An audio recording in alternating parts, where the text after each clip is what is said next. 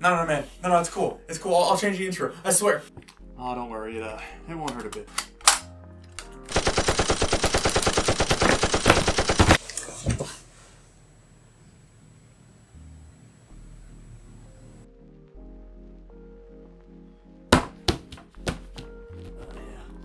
Uh, uh, uh, let's make a computer build video, boys.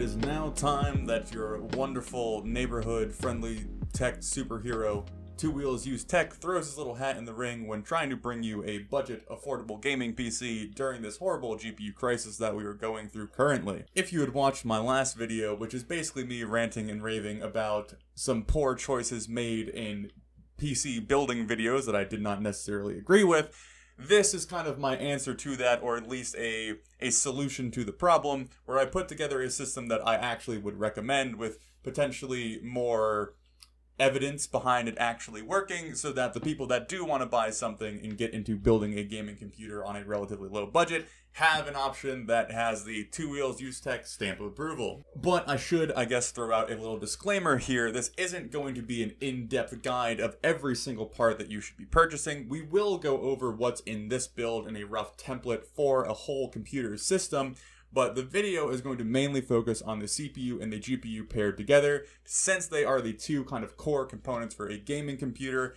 and they're going to be the most expensive parts that you are potentially looking at. That's why we're just going to look at the pairing and what they can do, and then loosely recommend parts around that to finish off the build. So, the first order of business and a very important topic to cover is who exactly this computer is built for since there are a variety of price ranges and things that you might need a computer to do that this may or may not check off of that little list you got going on.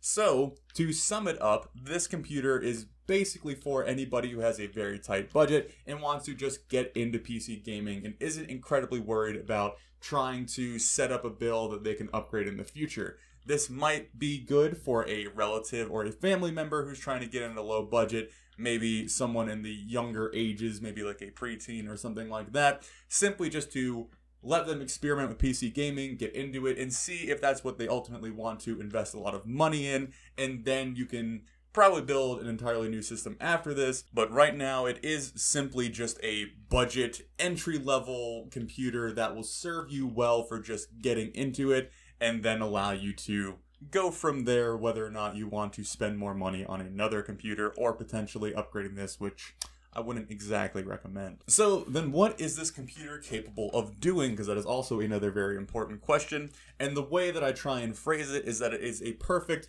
Fortnite gaming PC, something that you can play kind of popular titles with varying degrees of graphical fidelity. A lot of the benchmarks that I ran were based on kind of esports titles or easier titles or battle royale titles that a lot of people play on their consoles, and it's in a similar price bracket, so it kind of levels out. So if you wanted to do some high refresh rate gaming on an esports title or a battle royale title such as Fortnite, CSGO, Valorant, Overwatch, all those kind of similar level of titles, then you can easily push this hardware to get you up into the 120 FPS range if that's what you're looking for. You will have to drop some settings. You might have to tinker with a little bit lower resolution, but some people do that as a preference, which those people are maniacs, but all the power to them. But if you're looking at playing maybe low or medium settings on the 1080p, then this is also a very good system for managing that. You're definitely not going to be running Red Dead Redemption 2 on Ultra that would be absolutely horrific to watch.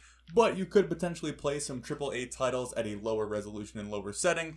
But if you wanted to just have a better experience with some of those esports titles I mentioned earlier, then you could bump up to medium, maybe high settings and have a 60 FPS experience, which is perfectly acceptable for the majority of people. But enough ranting about what this can do and why you may or may not want it. We'll actually get into the parts and some benchmark numbers so that my lovely voice can stop trying to explain something that's much easier to explain with numbers. So the CPU and GPU combo that I'm going to be covering today is the Intel chip i5-3470 and the graphics card is an AMD R9 280X. Going over the i5-3470, this is certainly an aging CPU that may not have the best life expectancy at this point, so keep that in mind, but if you're looking for a $20 CPU, which is near impossible to find in the new market, then the i5 3470 priced at about $20 on the used market is a phenomenal price if you're in that price point.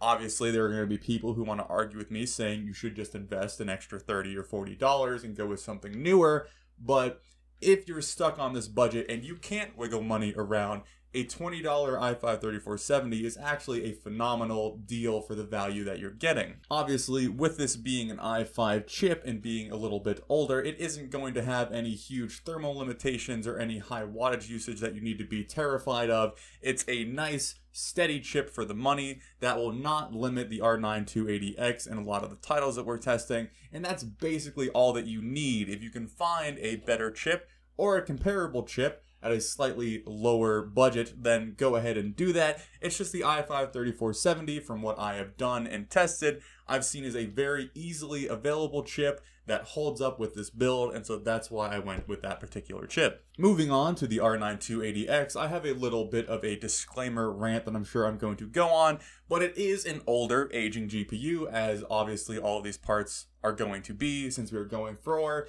a very budget build, but the R9 280X, which is on par with the GTX 1050 Ti in most performance scenarios, is a very great pick for a budget such as this, because if you look to buy a GTX 1050 Ti at this point, you're looking to spend around $200, give or take a little bit there. But picking up an R9 280X will run you about $100, maybe a little more or a little less. So for half the price and one minor downside, you're getting GTX 1050 Ti performance with an older aging card that just requires a little bit more power. So what is that downside that I mentioned before? Because I'm trying to be as transparent as possible with these parts. Well, the R9 280X runs with 3 gigabytes of VRAM versus that 1050 Ti that I mentioned earlier has 4 gigabytes of VRAM.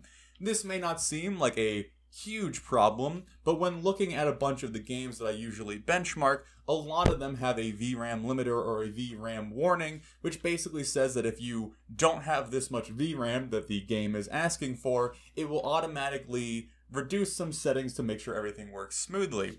Games that I ran into that had this problem, a big one being Call of Duty Modern Warfare Warzone.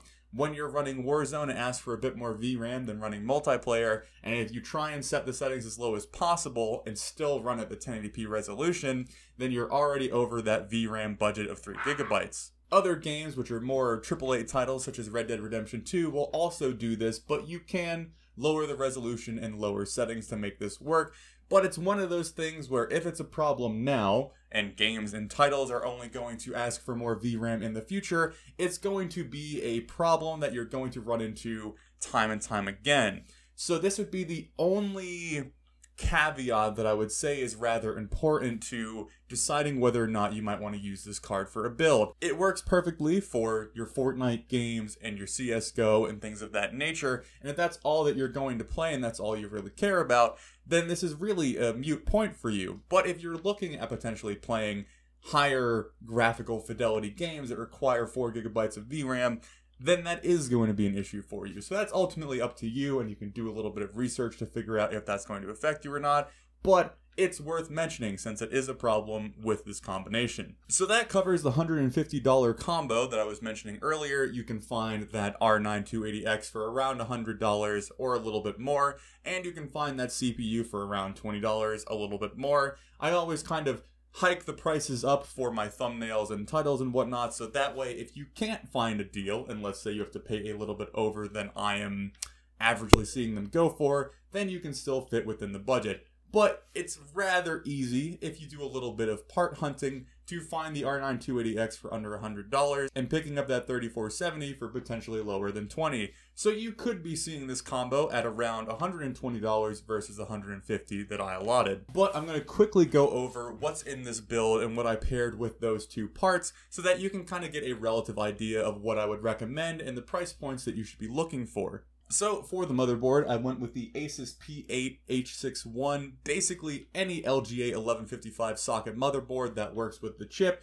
and is a relatively good price. Anything around $50 or less will work just fine. You could go the Dell Optiplex motherboard route, but there are some minor inconveniences with that. So I would stick with using a DIY motherboard that is built for putting into a case. It just makes everything a lot easier. Then again, to keep the budget down as much as possible, I went with 8 gigabytes of DDR3 RAM for about $20. You could potentially get this for less, but again, I'm trying to make sure that I'm using a safe amount to pay for each of these parts so that if you do have to pay a little bit more, we're not going over budget. And of course, I'm sure people will argue that I should have gone with 16 gigabytes of RAM, but since this is a kind of extreme budget build and we're trying to squeeze every dollar out, and 16 gigabytes of RAM is kind of a luxury, though most tech people will disagree with me on that, we went with 8 gigabytes just to make sure that everything is relatively paired together. Then I followed up with a SanDisk 240 gigabyte SSD as our boot drive in a small storage pool, which runs at about $30, somewhere around there, and that allows you to maybe install one or two of your favorite games onto the SSD without having to worry about secondary storage. Then this is one of the parts that I'll have to kind of leave up to you, but with the build that I built, I picked up this HP Omen Obelisk case plus power supply for $60. It's a 500 watt power supply with all the connectors that I need, and the case is relatively good looking for a pre-built case. So allotting that I spent, or you should spend, about $30 on the power supply and about $30 on the case. That comes out to equal about $60. You can find very cheap $30 cases online new. You can also do some Facebook or Craigslist searching to potentially find a case within $30 that might be a little bit more appealing. But that's kind of the suggestion I have. If you find deals like this, that's great. But ultimately, that's kind of the budget you should be going for for the case and the power supply. So that ultimately brings the cost of this computer to $300. Again, there are things that you might want to change based on your preferences. This is just how I put it together and what I would loosely recommend that you follow. But really, this video is about that $150 GPU CPU combo so that you can just get gaming during this fantastic GPU crisis that we're all dealing with. So now I have ranted about who this computer might be for and the parts and the price that you can be looking at, so let's go over the performance of the machine.